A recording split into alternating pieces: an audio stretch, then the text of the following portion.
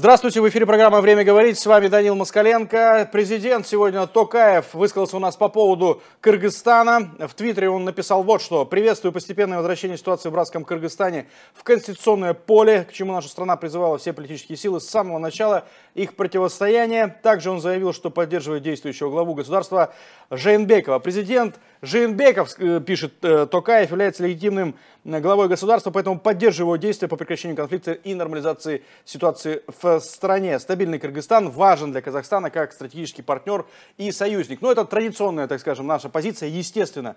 Вот, я очень этому, конечно, рад. Э, давайте сейчас обсудим некоторые вопросы, как все-таки идет восстановление вот ситуации.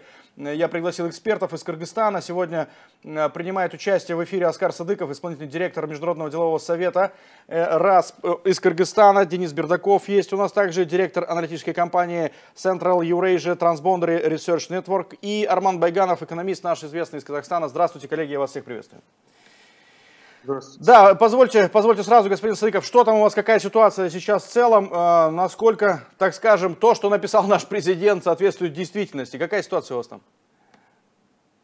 Спасибо. А, ситуация, слава богу, стабилизируется потихоньку. А, сегодня у нас парламент все-таки набрал кворум и утвердил а, премьер-министра и состав правительства. Угу. Уже, если не ошибаюсь, вышел указ президента о назначении членов правительства, поэтому правительство, надеюсь, что в полной мере заработает, обеспечит безопасность как инвесторам, так и в целом э, народу. Угу. И дальше предстоят дальнейшие действия, конечно. Это повторные выборы, и, возможно, даже конституционная реформа. Это все очень тяжело воспринимается сейчас общественностью Кыргызстана или нормально? Потому что, ну, э, если вас послушать и в целом посмотреть на ситуацию, то, э, если честно, это вот какая-то, вот этот транзит и власти или что это, как это назвать, я даже не знаю, но, тем не менее, экономические последствия, вот что меня интересует. Э, сложновато с этим сейчас? Действительно сложно. Э, серьезно пострадал горнодобывающий сектор страны. Целый ряд месторождений прекратили, приостановили свою деятельность. Э, одно из месторождений пострадало э, имущественно, то есть были сожжены целый ряд объектов на одном из месторождений. И по предварительным нашим оценкам ущерб оценивается порядка 25 миллионов долларов предварительно. Угу. Еще предстоят подсчеты. А, в других э, отраслях тоже есть определенный ущерб в части упущенной выгоды, потому что на вот эту минимум, на эту неделю предприятия, многие из других отраслей экономики были вынуждены приостановить деятельность, угу. потому что попросту опасались своей ну, за безопасность, да, конечно, это естественно. Да, господин Бердаков, пожалуйста, подключайтесь также к нашему, э, нашему диалогу. Что у вас, какие э, замеры вы делали в целом по экономической ситуации, по бизнесу, может, у вас есть небольшая аналитика, пожалуйста. Ну, конечно, та ситуация, которая сейчас сложилась, она является логическим продолжением пандемии, которая у нас бушевала в предыдущие месяцы. И была а, ситуация такая же сложная, как и в Казахстане. Мы, наверное, две наиболее пострадавшие страны всего ЕАЭС от этой пандемии. Мы видели огромный экономический спад. Сейчас оценивается, что за прошедшие месяцы ВВП Кыргызстана ушел в минус 6%. И, скорее всего, год мы можем закончить даже в районе минус 8%. Перспективы на следующий год также крайне, крайне туманны, потому что наша экономика очень зависима и от переводов мигрантов, и от целого ряда внешних обстоятельств, в том числе открытые границы с Китаем, к примеру, Uh-huh. А, ну, добывающий другие, другой народный кластер, он дает значимый вклад в ВВП, как уже отметили, от 20 до 25 процентов. Сейчас каждый день простой это там, 20 тысяч долларов минимально. Соответственно, ну, ситуация сложная. Не можно сказать, что только митинги все испортили. Например, у нас а, один из ключевых а, скажем так, рынков, который потребляет а, нашу рабочую силу внутри Кыргызстана, это швейники, это примерно 200-300 тысяч а, человек. Они, например, 2-3 месяца этим летом и весной не работали. И угу. удар от этого по экономике колоссальный, причем удар даже, может быть, не по бюджету. У нас отличительная особенность Кыргызстана от Казахстана, ну и как это России, это очень маленький бюджет, и его роль вообще в стабилизации безработицы – возможности оказывать э, поддержку длинными дешевыми деньгами.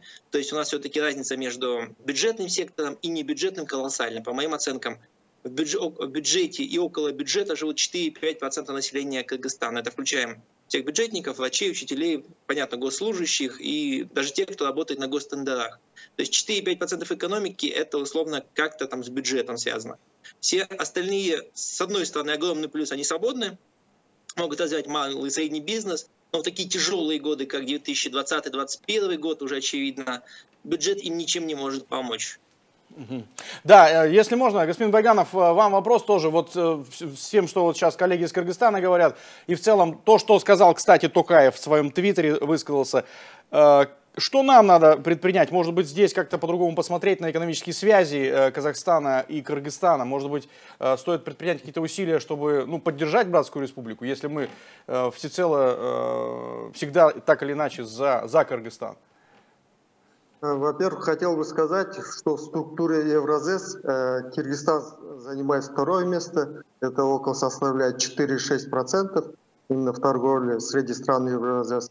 После России э, Киргизстан идет, потом Белоруссия. Если в целом подойти, насколько критична именно ситуация в части влияния на нашу экономику, от снижения экспорта продукции, продаж торгового товарооборотов Э, с Киргизией, то это не настолько критично. Она составляет около не более там, 1% в пределах от всех внешнеторговых операций, то, что Казахстан осуществляет с другими странами. И, соответственно, в первую очередь, конечно, это пострадает сама Киргизия, потому что э, все-таки у нас разные как бы, э, весовые категории по объемам экономики. И, соответственно, да, Киргизия в первую очередь э, тоже тесно взаимосвязана с нашей экономикой.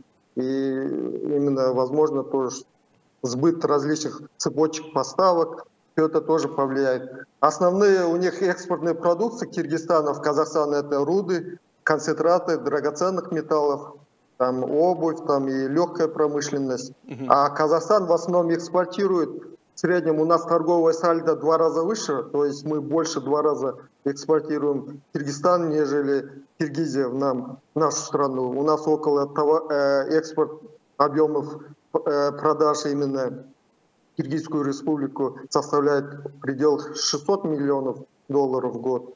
А э, с Киргизией чуть более там 300 миллионов долларов в год. Соответственно, э, вот эти моменты тоже Э, будет определенно, повлияет, возможно, именно текущая ситуация, повлияет в целом на инвестиционную привлекательность наших казахстанских предпринимателей, не только казахстанских, со всего мира. Стоит ли, э, если часто происходят такие различные политические вещи, то есть резкая смена правительства, курса направления, это может отпугнуть долгосрочных инвесторов в инвестирование именно в данную страну. Необходимо отметить, что казахстанский бизнес так или иначе около инвестировал за все годы э, в настоящий момент по различным оценкам около 1 миллиарда долларов.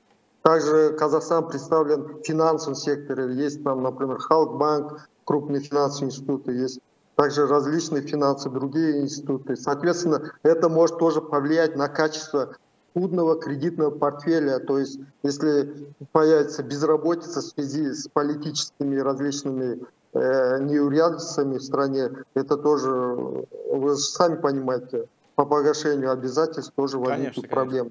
Да. Вот эти моменты, это моменты необходимо тоже понимать, то, что самых хорошо, если сейчас быстро это разрешится ситуация, и государство перейдет именно в правовое поле, чтобы меньше было различных мародерств, грабежей, и тогда, возможно, это восстановится. Ну, сейчас, как я понимаю, ситуация вот в плане вот, ну, прям чрезвычайно вот такой вот, то, что было, мы наблюдали вначале, уже такого нет, да, господин Садыков? То есть э, сейчас все ровно, порядок восстановлен, э, правоохранительные структуры работают э, и все такое, да?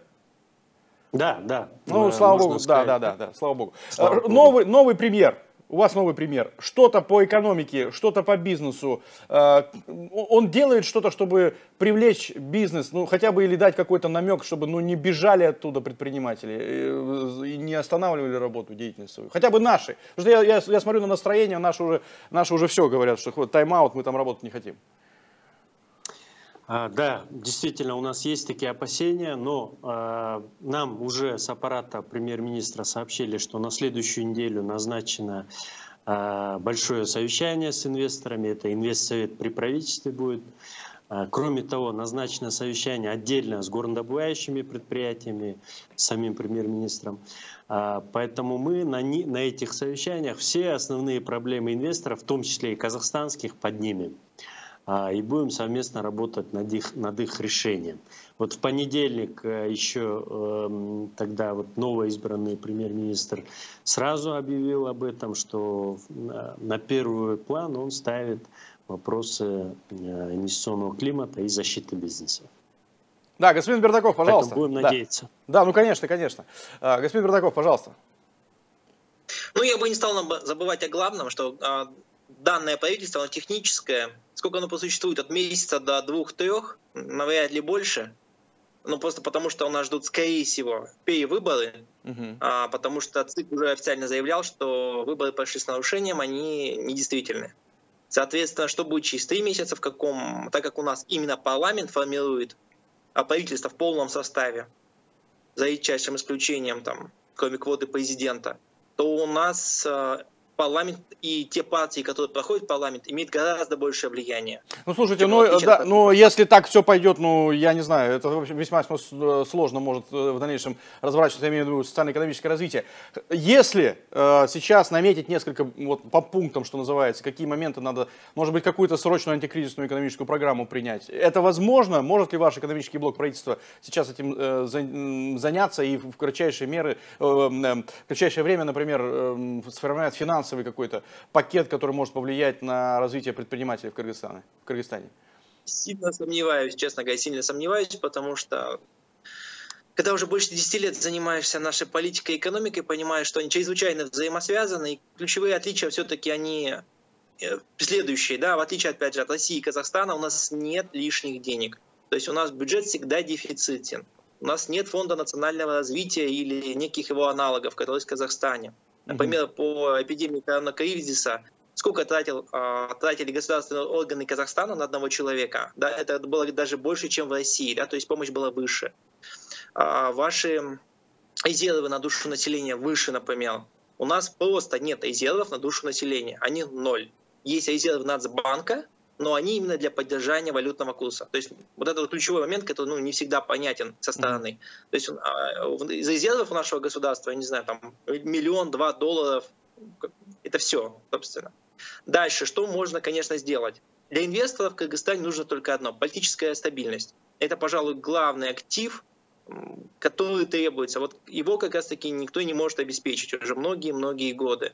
Потому что я помню срыв проектов еще 2009 года начиная, каждый раз собираются огромные деньги заходить, от 100 миллионов до миллиарда, полутора миллиардов, там и Южная Корея, и Казахстан, и Россия, и Китай. Каждый раз это ждут люди окончания или начала электорального цикла, а после него все заканчивается тем, что инвестор говорит, все, я увидел вашу специфику, ухожу в Узбекистан. Обычно это заканчивается этим. Понятно, что действующий пример технически, он крайне заинтересован в показании каких-то... Ну, вот представьте, да, если сейчас он увеличит э, показатели бюджета, ВВП и все такое, его же народ, я так понимаю, этот же народ будет носить на руках. На руках будет носить. Вот, он вот, будет да, да, на руках, да, и шанс да. на победу очень великий будет. Вопрос в том, что сделать это ну, очень непросто, да, то есть наша экономика там больше 20 лет загонялась в определенное русло правил, а, лишений, я бы даже больше сказал. Что-то сделать э, сходу крайне сложно. Угу. То есть все должны понимать, что быстрых решений нету, их просто нету. Да, э, если можно, э, господин Байганов, может быть, у вас есть э, список быстрых решений? Почему нет? И вас не слышно, вас не слышно. Да, сейчас, секундочку, проблема со звуком. Что-то, да, вас... Что-то вас не слышно. Да, пока сейчас мы сделаем переподключение. Господин Садыков, пожалуйста. А, вот сейчас слышно. Да, говорите. Да. В первую очередь я согласен с коллегой из Кыргызстана. Деньги, как говорится, любят тишину. Э, в первую очередь необходима это политическая стабильность в стране. Э, очень легко все это быстро разрушить. Э, то есть за последние десятилетия в Кыргызстане уже происходят неоднократные различные политические потрясения. А именно доверие инвесторов, особенно внешних, с европейских стран, это очень тяжело и очень долго необходимо завоевывать, а это то, что потерять, это очень легко и просто. Соответственно, необходимо в первую очередь решить в стране, чтобы делать какие-то экономические реформы, в первую очередь необходимо прояснить себе именно части политической стабильности и политического определенного курса. После этого только можно э, в купе экономической реформы проводить. Да, если можно, господин Садыков, вам э, завершающее слово подходит к концу наш эфир. Э, пожалуйста, если можно. Ну вот мы сейчас, э, да. сейчас смо а да, нас, смотрим нас... да, на ситуацию, что называется, со всех сторон. Угу.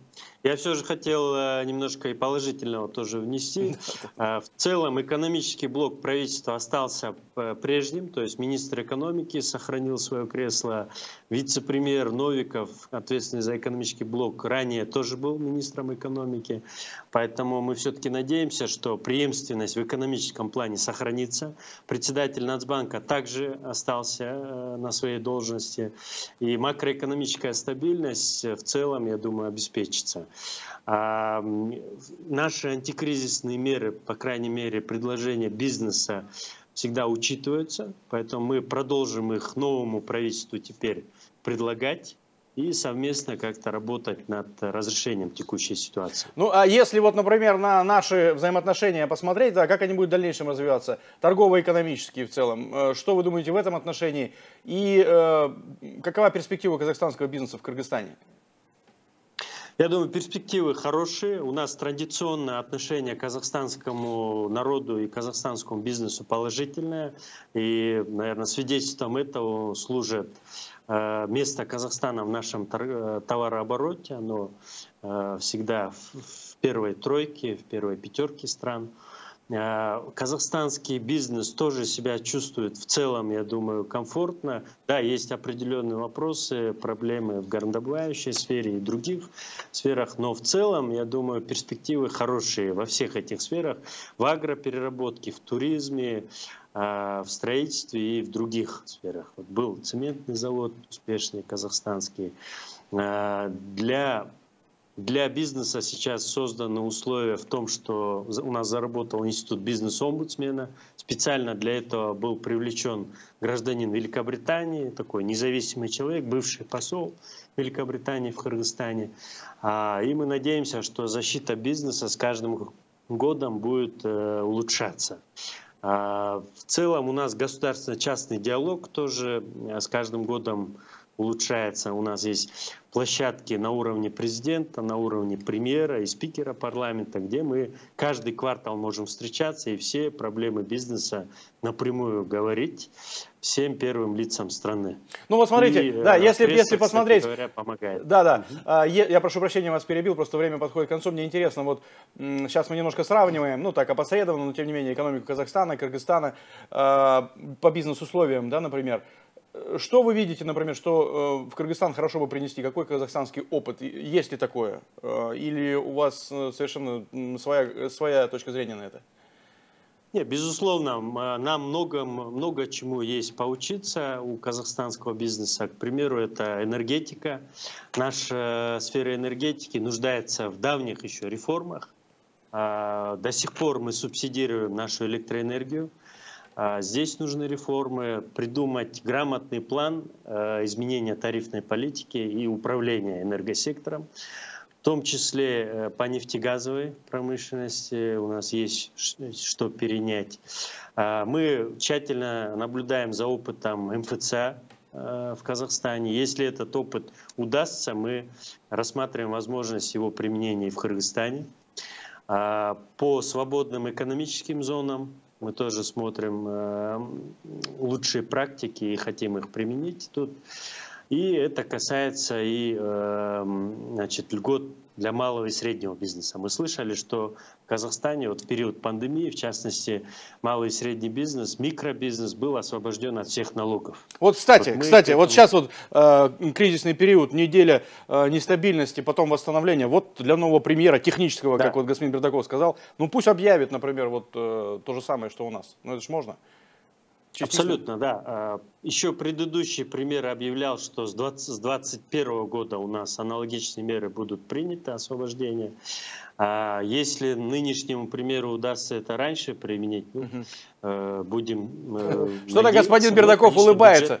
Что-то он улыбается. Бюджет, да, у нас испытывает сложности. Хотел добавить, касательно отмены налогов, надо в этом вопросе более осторожно подходить. Э, то есть могут от среднего бизнеса постепенно э, уменьшать свои обороты и перерегистрироваться на малый, малый бизнес. Да, вот это, да, да, да. возможно, в итоге ущерб будет колоссальный для всего бюджета. Вот это надо осторожно подходить. И, возможно, это мы столкнемся сейчас, Казахстан, на три года э, по налогам амнистии именно для, да, малого, малого бизнеса. Да, да, да, у нас есть. Средний бизнес сейчас будет дробиться, и и у нас появится в итоге средний бизнес недополучение огромных средств может возникнуть. Это еще в будущем, мое предположение, ожидается Казахстан. Вот как раз посмотрим на ваш опыт и э, извлечем самое лучшее. Да? Спасибо. Главное вам, конечно, стабильность и развитие, братский Кыргызстан, чтобы все было у вас хорошо. Постепенно ситуацию выправляете. Спасибо большое, уважаемые эксперты. Сегодня мы обсуждали, собственно, э, ситуацию, которая складывается у нас в Кыргызстане. Спасибо вам за внимание, за ваши вопросы. Не успел я зачитать, но, тем не менее, интересная дискуссия получилась. Напомню, это была программа «Время говорить». Смотрите нас каждый день в прямом эфире. До свидания.